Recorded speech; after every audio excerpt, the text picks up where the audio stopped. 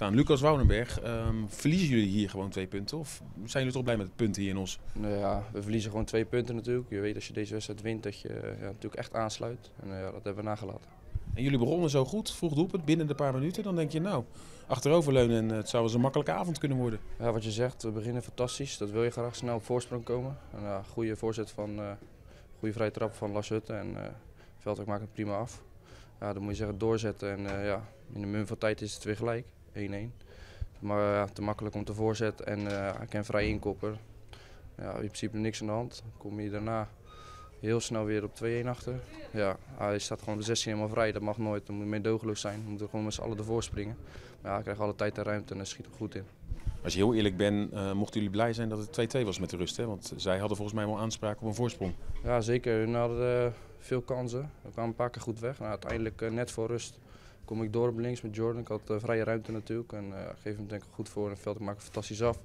Dus ja, in principe is er dan niks aan de hand. 2-2 met rust. Dan zeggen we in de kleedkamer, jongens, gewoon zo doorgaan. We moeten iets meer gas geven en volle druk. En dan moet het gewoon goed komen. Maar ja, tweede helft proberen we het, maar we konden niet echt een vuist maken. Vond te weinig uh, spelers vandaag in vorm. Jij speelde goed, uh, speelde goed, Stans. En uh, ja, daar bleef het een beetje bij.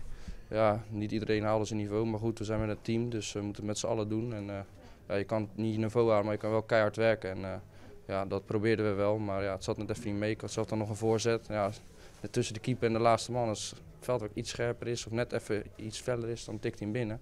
Maar dan zit het allemaal net even niet mee en dan moet je uiteindelijk misschien wel tevreden zijn met een punt.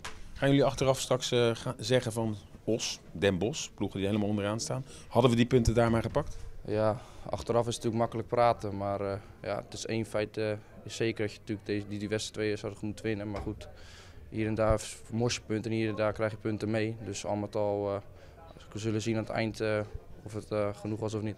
Hey, geruisloos pak jij je wedstrijdjes hier mee, je pak je ervaring mee. Je bent uitgeleend door Feyenoord. volgens mij gaat het crescendo hè? Ja, ik heb het prima naar mijn zin, wat je zegt. Ik kan hier een mooie ervaring doen. Ik uh, speel elke week en uh, ja, het gaat uh, steeds met stappen vooruit. Dus ja, ik ben gewoon tevreden dat ik hier mijn ervaring op kan doen. Heb je veel contact met Feyenoord, aangezien jij van hun bent?